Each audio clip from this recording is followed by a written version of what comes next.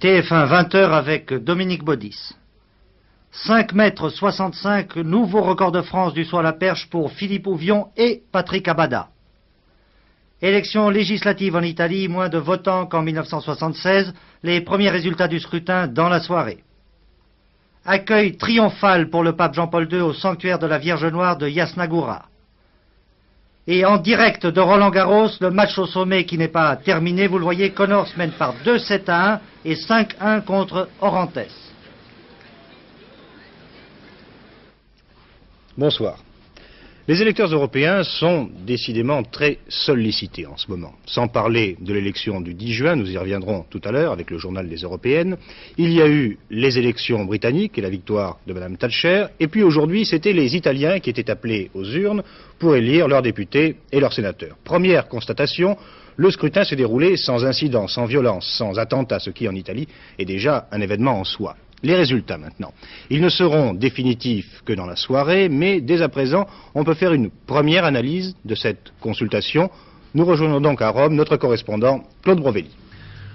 Une démocratie chrétienne qui perd quelques miettes, un parti communiste qui perd 3 à 4 points mais qui reste au-dessus de la barre des 30%, un parti socialiste qui conserve ses 10% et les petits partis du centre droit qui se partagent quelques gains, dans l'ensemble, l'électorat italien est demeuré d'une exceptionnelle stabilité et avec un taux de participation supérieur à 85%, donne ainsi une leçon aux principaux états-majors politiques qui ont mené le pays de crise en crise ces dernières années.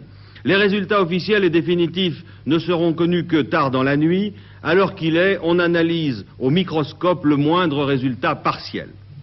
C'est ici, au cinquième étage du ministère de l'Intérieur à Rome, qu'aboutissent depuis le début de l'après-midi, dans cette salle des ordinateurs, appelée le gros cerveau, les résultats provenant de toute l'Italie.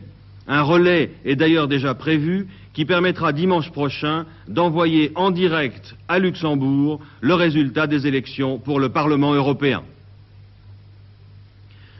Trois étages en dessous, la télévision italienne, à travers ses deux chaînes, règne en maître dans la salle de presse une ambiance sans passion au fur et à mesure qu'arrivaient en début d'après-midi des résultats sans véritable grande surprise. À l'heure qu'il est, et tandis que les résultats se précisent, les, états-majors politiques romains sont autant de pôles d'attraction, comme ici, au siège du Parti communiste, où l'on préparait dans l'après-midi le traditionnel rassemblement qui va bloquer tout le quartier pendant une bonne partie de la nuit. À deux pas, Piazza Navona, le parti radical le plus folklorique, va lui aussi mêler divertissement, politique et résultats pendant une bonne partie de la nuit, sous l'œil amusé des touristes, et comme ailleurs, sous une production discrète des forces de l'ordre. La démocratie chrétienne, qui reste et de loin le principal parti italien, demeure, comme à l'accoutumée, éloignée de ses exubérances et éventuelles festivités populaires. On va donc se retrouver à Rome au même point qu'avant la crise et donc en crise. Les communistes qui avaient provoqué ces élections anticipées en reçoivent le résultat comme un boomerang et il semble exclu qu'affaiblis, même légèrement, ils puissent entrer, comme ils le souhaitent, dans un prochain gouvernement. Il va falloir trouver une nouvelle formule à l'italienne. Faisons pour cela confiance au Premier ministre gérant de la crise des élections et de l'après-élection Giulio Andreotti. Rome, TF1. Les problèmes de l'énergie dominent plus que jamais les relations entre grands pays industrialisés et on l'a vu une fois encore cet après-midi à Washington lors d'un entretien entre le président Carter et M. Jean-François Poncet, le ministre français des Affaires étrangères. Au centre de leur conversation, le problème des subventions américaines aux importateurs de pétrole. Le chef du Quai d'Orsay a fait état du souci des Européens face à cette récente décision américaine. Monsieur François Poncet a d'autre part proposé à Jimmy Carter une concertation sur les problèmes de l'énergie. Concertation en deux temps, d'abord entre les consommateurs, ensuite entre les consommateurs et les producteurs. C'est dans ce contexte, et à quelques jours des élections européennes, et à quelques semaines du sommet des pays industrialisés à Tokyo, que Dominique Bromberger a préparé pour nous ce dossier sur les relations Europe-États-Unis. Le geste était sans précédent de la part d'un président américain. En janvier 1978, Jimmy Carter rendait visite au siège de la communauté européenne à Bruxelles. C'était l'expression de l'intérêt américain pour la construction européenne. Janvier 79, autre événement spectaculaire. Sur les grands problèmes stratégiques, le président américain prend l'avis de ses alliés européens. Après l'approbation de l'effort européen, c'est une ébauche de concertation avec l'Europe. Mais n'est-ce pas aussi une tentative de contrôle? Si les États-Unis sont pour l'Europe, ce n'est pas n'importe quelle Europe. Les milieux américains qui se sont intéressés à l'unification européenne ont toujours été très fédéralistes. Euh, si vous voulez, si la formule marche aux États-Unis, pourquoi ne devrait-elle pas marcher aussi en Europe Ce qui est d'ailleurs extraordinairement simplet. Mais enfin, il y a évidemment un préjugé favorable pour tout ce qui est euh, fédéral euh, aux États-Unis. En fait, c'est quand une crise menace que les Américains ont du mal à se retenir d'intervenir. Qu'il s'agisse d'une crise politique, comme l'éventualité de l'accession de communistes à un gouvernement ouest européen, ou d'une crise économique, comme celle du pétrole de 73-74 ou d'aujourd'hui. En tout état de cause, les moyens d'intervention directe de l'Amérique sur l'Europe sont limités. Les sous-entendus menaçants de Nixon et Kissinger, du style si vous n'êtes pas raisonnable, nous pouvons retirer nos troupes, ne peuvent plus guère être pris au sérieux, car l'intérêt stratégique de l'Europe est trop évident pour les États-Unis. Et si l'Europe a besoin de l'Amérique, l'Amérique, elle, a aussi besoin de l'Europe. Les États-Unis ont besoin des Européens, euh, euh, ne serait-ce que parce que le marché européen est un marché important, ne serait-ce que parce que le, le Deutschmark constitue une monnaie très puissante, ne serait-ce que parce que euh, les États-Unis ne veulent évidemment pas que l'Europe tombe sous la domination directe ou indirecte de l'Union soviétique. Les accrochages qui peuvent se produire aujourd'hui entre l'Europe et les États-Unis ne sont plus marqués par l'atmosphère d'agressivité et de soupçons mutuels qui avait caractérisé l'époque Nixon. Mais peut-être est-ce aussi le signe de moins d'intérêt. Car en dehors de gestes spectaculaires et passagers, la politique étrangère américaine est désormais moins tournée vers l'Europe et plus ouverte sur le tiers-monde. Dominique Bromberger, TF1, Washington. L'énergie et la violence maintenant. Hier, dans la province basque espagnole de Navarre, une jeune manifestante antinucléaire a été tuée par des coups de feu. La police avait fait usage de ses armes pour disperser une manifestation de plusieurs centaines de personnes dans les rues de Tudela. La situation est extrêmement tendue dans cette ville dont les autorités se sont déclarées solidaires des manifestants. Le conseil municipal de Tudela a lancé un appel à la grève générale pour protester contre la répression. Jour J-6 pour les élections européennes du 10 juin prochain, le point de la campagne en France et chez nos partenaires, avec cette page spéciale préparée comme chaque jour par le service politique de TF1.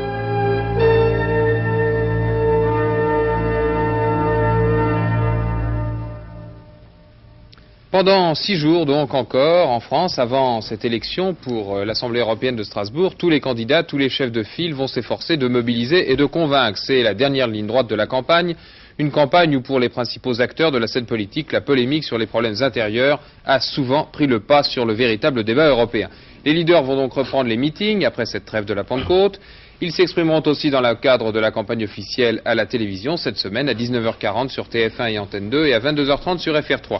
Le calendrier de la semaine est le suivant. Demain soir s'exprimeront les listes conduites par Jacques Chirac, Georges Marchais et Huguette Bouchardot, leader du PSU. Mercredi soir, les listes conduites par Simone Veil, Solange Fernex pour les écologistes, Jean-Jacques Servan-Schreiber et Jean Edernelier.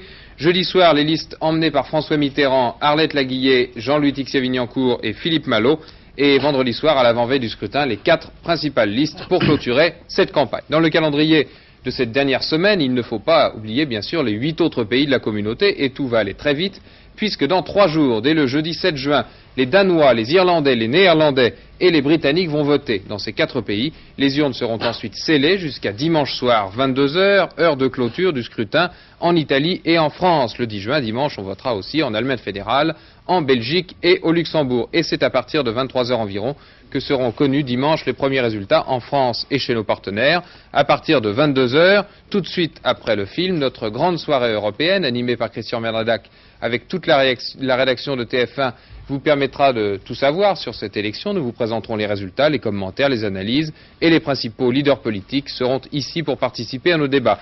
Grâce à la Sofres, vers 23 heures, vous serez aussi les premiers à connaître les indications sur ce scrutin et les scores réalisés par chaque liste. D'ici là, donc, le débat va se poursuivre et sans doute s'animer encore. Michel Debré, dans sa lettre mensuelle, la division au sein de la majorité de l'opposition ne sera pas éteinte par l'élection du 10 juin. Pierre Sudreau, député centriste du Loir-et-Cher, ancien ministre du général de Gaulle, appelle à voter pour la liste conduite par Simone Veil. C'est, dit Pierre Sudreau, la liste la plus ouverte, la moins partisane, la seule des quatre grandes listes qui ne soit pas inféodée à un parti unique. Le Rassemblement des Français musulmans apporte son soutien à la liste conduite par Jacques Chirac. Dans l'Humanité demain matin, un appel de Georges Marchais aux travailleurs le 10 juin, écrit le leader communiste. Vous n'avez qu'un moyen de porter un coup d'arrêt à la politique de chômage et d'austérité et d'agir pour une France indépendante et une Europe des travailleurs. Il faut voter communiste. Jean-Louis Tixier-Vignancourt au quotidien Le Matin de demain. En 22 ans, on n'a fait que l'Europe économique. Celle-ci doit être complétée d'urgence par l'Europe politique et l'Europe militaire. La liste Europe Écologie se prononce pour un accroissement de l'aide de la communauté européenne aux pays pauvres. Enfin, la campagne européenne en Grande-Bretagne, après l'Écosse dans notre édition de 13 heures, les positions des travaillistes, des conservateurs et des libéraux dans le débat européen. Un reportage d'André Sélarié. 40 millions d'électeurs britanniques sont invités à voter le jeudi 7 juin. Il y a 300 candidats pour 81 sièges. Les Anglais ont adopté le même système que pour leurs élections législatives, le scrutin majoritaire par circonscription. On ne voit d'affiche nulle part, mais l'homme de la rue commence à savoir qu'il va voter le jeudi 7 juin. Mais ces élections, il les confond souvent avec les élections législatives qui viennent de se dérouler ici il y a quelques semaines. Et j'ai entendu cette réflexion, pourquoi allons-nous voter encore Est-ce que notre député est mort Donc, ce scrutin, on en parle peu. Ce qu'on dit se résume par des formules chocs et des reproches concernant le marché commun. Il y a des montagnes de beurre, disent les Anglais, des lacs de lait et de vin sur le continent. Et à nous, ça nous revient très cher. On nous empêche d'importer des produits à bon marché d'Australie et de Nouvelle-Zélande. Et ici, les prix montent et montent. Les Européens ne devraient pas toucher à notre pétrole. Les Français protègent le produit agricole. Eh bien, nous, nous devons garder notre poisson, etc., etc. Face à cette situation, les partis politiques ont du mal à mobiliser l'opinion. La position des conservateurs peut se résumer ainsi. L'Europe est notre priorité, mais nous voulons, pour le Royaume-Uni, de meilleures conditions dans la communauté. Il faut voter pour que notre voix soit forte au Parlement européen. Les conservateurs sont confiants et espèrent enlever 50 sièges sur 81. Les travaillistes ont eu du mal à se mettre d'accord. Le manifeste du Labour porte la marque de Tony Benn, leader de la gauche travailliste. Si nous n'obtenons pas une réforme profonde du marché commun, et notamment de la politique agricole commune, nous devrons nous retirer de l'Europe. Les libéraux sont actuellement affaiblis par le procès en cour d'assises de leur ancien leader Jeremy Thorpe, accusé de tentative d'assassinat. Leur nouveau chef, David Steele, regrette que le Royaume-Uni n'ait pas adopté le scrutin proportionnel. Il s'affirme européen et souhaite des pouvoirs plus étendus pour le nouveau Parlement. Combien de Britanniques iront aux urnes le jeudi 7 juin C'est la grande question. Si les élections se déroulaient actuellement, on estime qu'il y aura environ 30% de votants. Si la participation ne dépasse pas 40%, pensent les conservateurs, personne ne prendra la Grande-Bretagne au sérieux.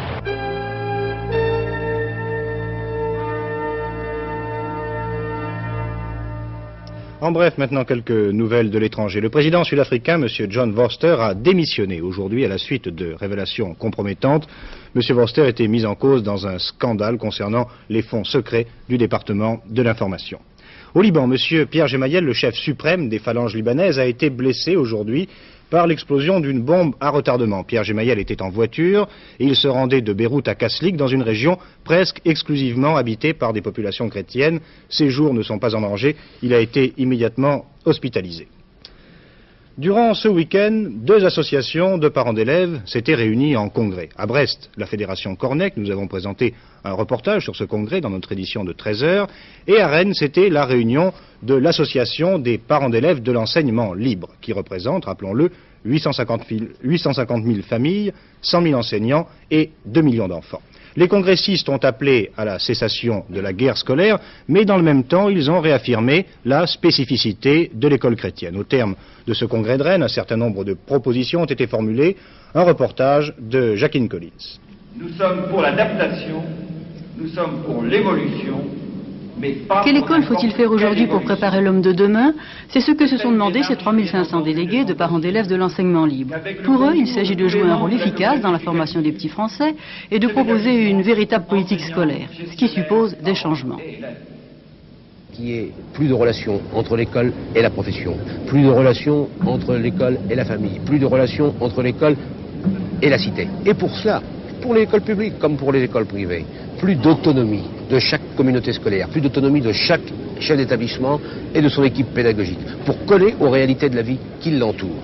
Et puis une école qui prenne en charge des enfants, qui puissent, quand ils naissent, avoir une espèce de, j'ai employé le terme l'autre jour devant un de vos confrères, une cagnotte, une cagnotte de droit à apprendre et que cette cagnotte, il puisse la répartir dans sa vie, en formation initiale, mais aussi en formation permanente. Que l'école ne se coupe plus, n'est-ce pas, entre formation initiale et formation continue. Parce que ce que nous voulons, c'est pouvoir former des hommes épanouis, qui soient libres, mais la liberté ne suffit pas, et en même temps responsables de leurs actes. Et c'est là où on rejoint une certaine conception de la vie que nous avons dans le cadre de l'école catholique. Alors, à votre avis, quel rôle spécifique l'enseignement catholique peut-il jouer dans l'enseignement général en France? Dans l'enseignement général, d'abord, il faut bien le resituer. Nous voulons être de l'éducation nationale. L'enseignement catholique euh, n'est pas contre ou en concurrence de l'enseignement public. Mais dans cette liberté que nous demandons pour tous les établissements, je crois qu'avec son caractère propre, l'enseignement catholique peut jouer un rôle d'émulation et justement que tous sont passés que toutes ces expériences pédagogiques qu'il conduit depuis, grâce à sa liberté depuis un certain nombre d'années, puissent aider l'ensemble de l'enseignement à aller de l'avant. Et puis bien sûr, alors son rôle propre, qui est à l'intérieur de la société française, d'être avec l'Église porteuse de Jésus-Christ, c'est-à-dire d'appartenir à l'Église missionnaire. Une messe en plein air hier avant le championnat d'athlétisme scolaire organisé en marge du Congrès et qui avait amené près de 30 000 personnes à Rennes.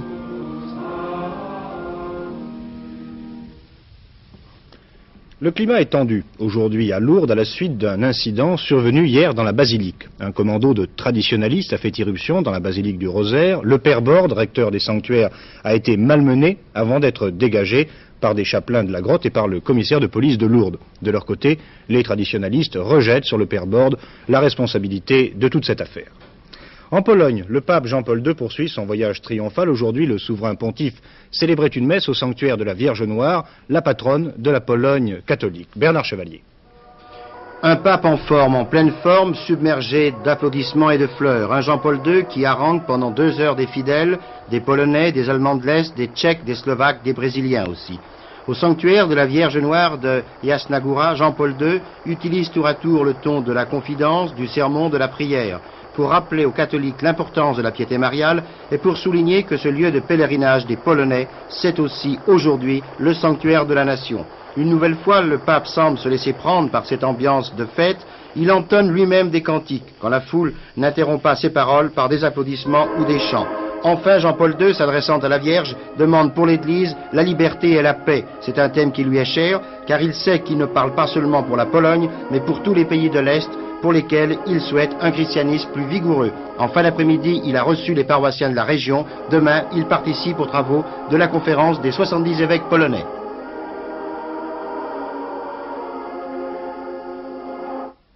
Notre page sportive maintenant, en commençant par la Transat, la position des concurrents. Sachez que le premier bateau a déjà parcouru 2600 km depuis l'Orient, ce qui l'amène à mi-chemin des Bermudes, c'est-à-dire au quart de la course, puisqu'elle comporte, je vous le rappelle, un aller-retour. Et ce premier bateau, c'est le Critère 5 de Malinowski. Il est en tête, suivi de Critère 6 d'Olivier de Kersozon. En troisième position, le Paul Ricard de Tabarly, qui de la sixième est parvenu à la troisième position. Ensuite, Fernande de Jean-Claude Parisi et Télé 7 jours de Michael Birch. À propos du Britannic Ferries, à bord duquel se trouve Stéphane Magnier, l'envoyé spécial de TF1, il se trouve en 18e position à la suite d'une avarie de gouvernail. Le bateau fait route vers les Açores, mais il n'abandonne pas la course. Le reste de l'actualité sportive en notre compagnie, Daniel Potra. Ce matin, nous parlions en notre édition de 13 heures de saut à la perche et vous n'avez pas été mauvais prophète. Oui, on vous a présenté euh, longuement Philippe Ouvion. Eh bien, Philippe Ouvion a tenu ses promesses à l'occasion des championnats de France scolaires et universitaires. Philippe Ouvion a en effet franchi 5 mètres 65 à la perche, à 1 cm du record d'Europe, à 5 petits centimètres du record du monde. Son ancien record de France était de 5 mètres 56, donc il est en progrès. Mais, mais, mais, mais, mais il y a mieux encore, puisqu'un autre Français, Patrick Abada, a sauté lui aussi 5 mètres 65. Donc deux Français, vous voyez ici euh, Philippe Ouvion dans un saut euh, précédent à 5 mètres 50. Donc deux Français à 5 mètres 65. C'est aussi euh, la victoire de deux entraîneurs, Maurice Ouvion, le père de Philippe, et Jean-Claude Perrin. Comme quoi, quand il y a un bon encadrement en France, on a aussi des champions. On aura l'occasion d'en reparler demain dans notre journal de 13 heures. Il y avait également euh, aujourd'hui euh, les internationaux de tennis à Roland-Garros avec Jimmy Connors qui avait attiré 20 000 spectateurs sur le central. Il était opposé à Manuel Orantes, Jimmy Connors de dos. Et il a gagné Connors, mais pas si facilement que cela. Il lui a fallu trois heures pour triompher dans son style acrobatique qui plaît tant au public. 4-6, il a en effet perdu le premier set, et puis 6-1, 6-3, 6-1. D'autres qualifiés aujourd'hui, Dips et Pecci, Villas n'a pas pu jouer, les rencontres ont duré euh, trop longtemps. Les cris de Connors. La vedette de Roland Garros avec Björn Borg, mais aussi avec euh, Villas, Gerulatis. Parce que nous en sommes maintenant au quart de finale.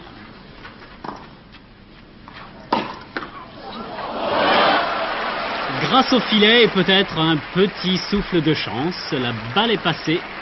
Connors est content. Il a de quoi. Il est qualifié pour les quarts de finale.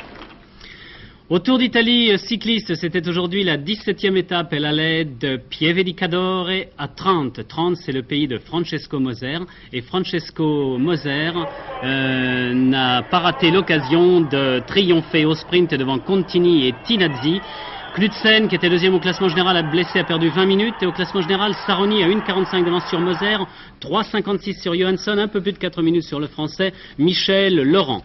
Et pour terminer, sachez qu'en chaland Gif du Manoir de rugby, c'est Narbonne qui rencontrera Montferrand en finale. En effet, cet après-midi, Narbonne a triomphé de Perpignan par 10 points à 6. Le tiercé, il se courait aujourd'hui à Saint-Cloud, Laostique, Ingricia et Angarius ont franchi dans cet ordre la ligne d'arrivée. La combinaison gagnante est donc le 4, le 23 et le 17 qui rapportent dans l'ordre 57 223 francs pour 5 francs et dans un ordre différent 3 561 francs toujours pour 5 francs. Et mercredi prochain, à Epsom, le départ du fameux derby revêtira une certaine solennité. En effet, la course célébrera son 200e anniversaire. Et grâce à André Sélarié, notre correspondant permanent à Londres, et à André Théron, notre spécialiste typique, ce livre d'images de l'une des épreuves les plus prestigieuses du monde. Dans un instant. Il serait impensable qu'un derby d'Epsom puisse se courir sans la présence d'un membre de la famille royale. Chaque année, près d'un demi-million de spectateurs. On vient même en hélicoptère. Depuis 1780, date de la création de la course par Lord Derby, la gentry n'a pas boudé Epsom, bien au contraire. Pour ce bicentenaire, une exposition retrace les grandes heures du derby d'Epsom. Un portrait de son créateur, Lord Derby, et de son premier vainqueur, Diomède.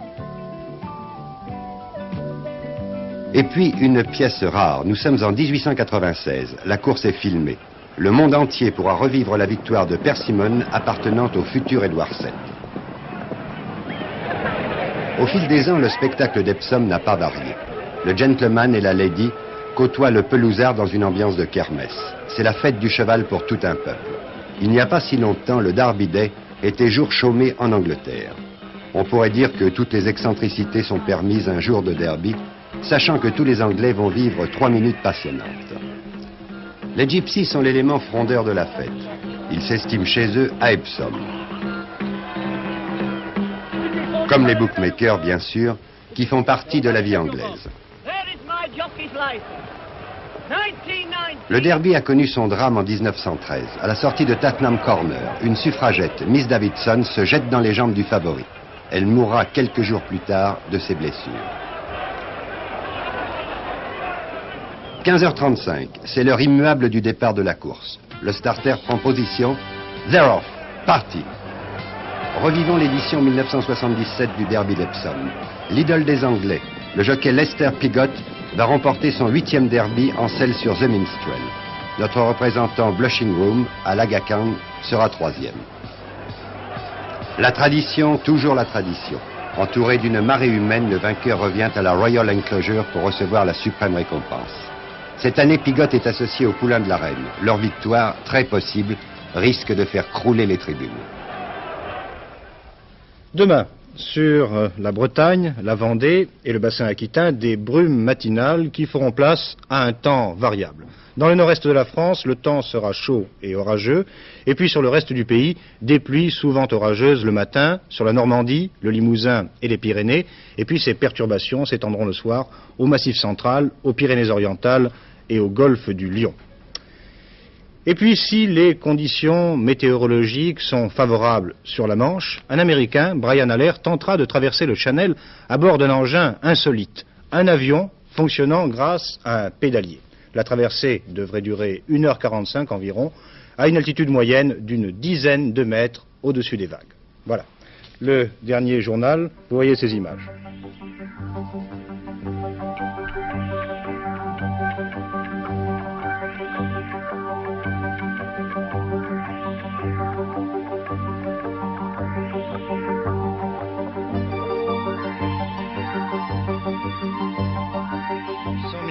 sterling s'il parvient à effectuer cette traversée.